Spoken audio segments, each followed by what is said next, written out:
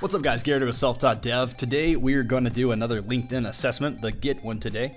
I, uh, just a few quick things. One, I'm probably going to fail this. I know the basics of GitHub, like how I can make a new repository, push, pull, basic stuff like that, but I feel like this is going to have some trick questions, so I'm probably going to fail this. Um, two, you're probably going to have different questions than what I have. From what I've seen, most of their tests have a large test bank and they will just throw out 15 random questions for you. You might have some of the same questions, but a lot of them are probably going to be different when you take this. And three, the questions are going to be timestamped in the description. So if you just want to look in the description, you can like skip to each individual question. So let's do this. All right. While working on a feature branch, you try to use git re, re, re. I don't know what that does. to solve a recurring merge conflict, but nothing is happening. What could be causing this issue? Yeah, like I said, I'm probably going to fail this. So, what does this even do? Reuse recorded resolution of conflicted merges. Um, the commit hash is missing. The file path isn't specified. rerere.enabled isn't enabled in the config file. The all option isn't added to the command. Is there an all option for this? This doesn't show an all option, so I don't think that's it. Uh, we got 37 seconds left, so let's try and see. Oh, there is the dot enabled thing.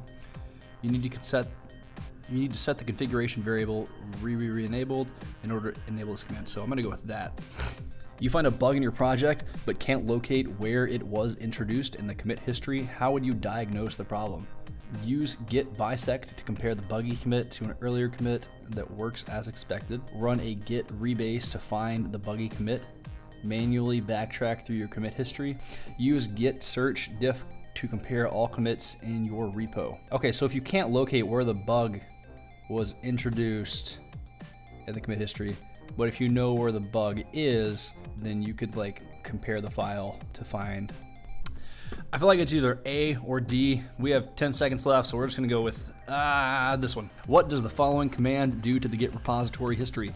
Git reset soft head. Keeps the head at the current commit, but clears all previous commits. Resets the working branch to the first commit.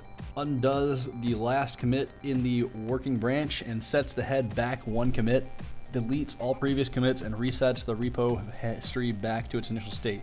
So it's using the soft so I don't think it delete, I don't think it's D. Let's just Google git reset. All right, when using git reset softhead, one, you'll remove the last commit from your current branch, but the file changes will stay in your working tree.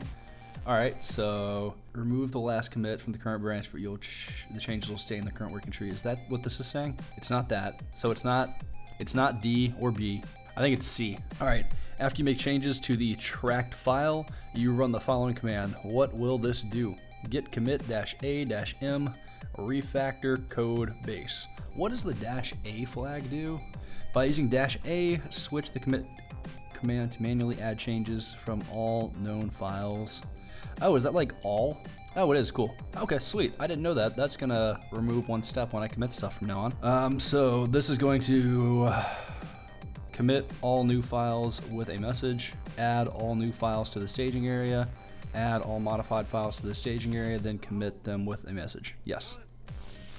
What will the following command print to the terminal? Git remote dash V. What does git remote do? Git remote command is essentially an interface for managing a list of remote entries stored in the repo. Show me the docs. Manage set of tracked repos. All right. And then what is the dash V? That's the verbose.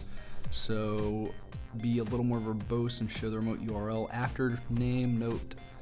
This can be replaced with blah, blah, blah. So this is going to list of remote repositories you're connected to. List last five Git versions you've installed. No. An inline editor before modifying. I think it's this one, B, huh? Yeah, we're gonna go with B. That sounds like it to be the most correct here. So looking at the following command, describe what is happening. Git checkout, feature, user location. Yeah, it's feature, user location. Git cherry pick, what does cherry pick do? Is that a file? That's like a file, huh? Oh, that's an actual command, okay. Apply the changes introduced by some existing commits. Okay, so he's checking out a file, or he's checking out a commit, and then he's merging the changes from this one to it. The commit is being cherry picked as the new head. A commit is being copied from its original branch over to the feature user location branch. A commit is being copied from the feature user location branch to the master branch. A, the commit is being tagged for release on a, uh, well, that, so I don't think it's D. A commit is being copied from the blah blah blah branch to the master. I need to read this one more time. Apply the changes introduced by some existing commits. Cash, I need you to move, bud. I'm trying to make a video.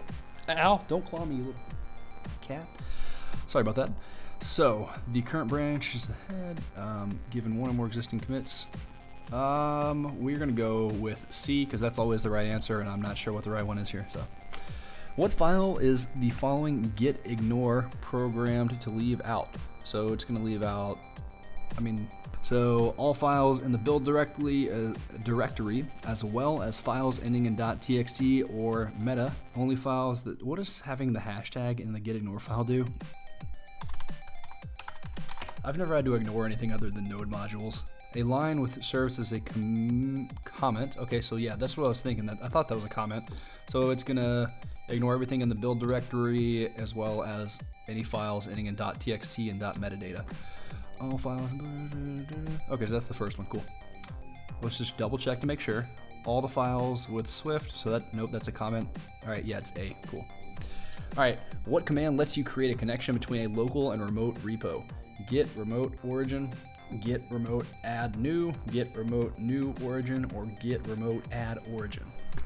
Well, let's just pull up our handy dandy git remote documentation here. We don't need the dash V, but whatever. With no arguments, shows a list of existing remote repos. Okay, so it's got arguments in these. So add adds a remote named blank to the repo at that URL. It's gonna be D. Why would you use a pre-receive hook in your remote repo to backdate a git commit, to fire a script after updates are made to the remote repo, to involve a hook script when commits are pushed but before any references are updated, to debug all commit tags and release versions. You wouldn't you would use it in the local repo. That sounds like the right answer, but we're gonna we're gonna double check this here. So pre-receive hook. Let's do git pre pre-receive hook and see what this says here. Okay, so it lets you make requirements for accepting the commit. So B sounds like it'd be the right answer to me. We're gonna go with that. Which of the following is true when you use the following command? Git add dash A. That's gonna add all the files to the staging area, but we're gonna make sure because maybe the capital A flag does something different. That's not what I want. I want git add. There we go. No, where is the git documentation for git add? Oh my gosh. There we go. Git add dash A. We already looked at this and it's all, right? Update the index not only where the but also where the index. If no path is specified, given A option is used, all files in the entire working tree are uploaded. Okay, cool. So yeah, we're gonna go with all new files are staged. All new and updated files are staged. There we go. How could you squash multiple commits together without using git merge dash dash squash? You can't. Git merge dash squash is the only git command for this operation. Caching, reflogging, or rebasing. Let's see here. How to squash multiple commits. Rebase. We're gonna go with that. What operation can you use to apply git configs across your entire git environment? Apply git configurations to entire git environment. Looks like somebody else is Googling these answers too, and Google knows what I want here. Yeah, I thought it was the dash global. That, that would make the most sense. I just wanted to make sure. So yeah, we're gonna go with global here. All right, three questions left, or two two or three, one of those. Uh, take a look at the git commands below and determine what the operation is doing. Git bisect start, git bisect bad, git bisect good. What does git bisect do? So as I said in the beginning of the video, I don't know anything about Git. Git bisect uses binary search to find the commit that introduced a bug. I think we used git bisect in that one question, right? Is that what we went with? Because I think that's the right answer. That like question number two or three now. I don't know. Uh, git bisect bad, and good. What do those do? So I think this is removing a bug, yeah? Um, make, we have 20 seconds. Make marking a commit as good and resetting the head. Running a bisect that performs a binary search between two commits. Marking a commit as bad for later deletion. Merging. Um, actually, maybe that is what he's doing. We're gonna go with that. C. What command would you use to create a new Git repo? Git init. A colleague sends you. Yes, finally a question I know. a colleague sends you the following terminal output and asks for your help. What process is, is taking place? Git pull, git reset hard, git pulled top branch, git reset head origin. A well, yeah, there's a merge conflict in there, but then he does some stuff after that.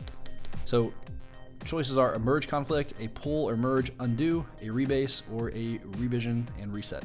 Well, he's not using a rebase anywhere in there, so I'm not going to go with that one. A revision and reset. A pull or merge undo. So it's either going to be B or D. Well, he's using reset in the command, and this answer has reset in it, so we're to go with that and see how we did here. Holy shit, we passed. All right, guys, well, I really want to know, it says uh, to pass, you have to get above the 70th percentile, right? So as more people pass the test, the bell curve is to shift farther to the right, and the 70th percentile is going to be harder to get into. So is that how it works, or is there like a set number of questions you have to pass to pass the assessment? I really want to know. But yeah, cool. We passed. I didn't think that was going to happen. Um, we did awesome work, guys. We have great Googling skills. Uh, let me know if you have any other questions or if you want to see me do any other assessments. I have done most of the ones that I'm confident I can pass. So any other assessments, I'm probably going to fail but you can see the questions and get like an idea of what you're gonna, what kind of questions you're gonna get. So yeah, um, we've got a Discord. If you want to come join the Discord, it's in the description. I do resume reviews and portfolio reviews. If you want to do either one of those, my email's in the description. I also do monthly projects if you need some projects to practice and build in the Discord. And I think that is it. So I will see you next time. Peace. Round one.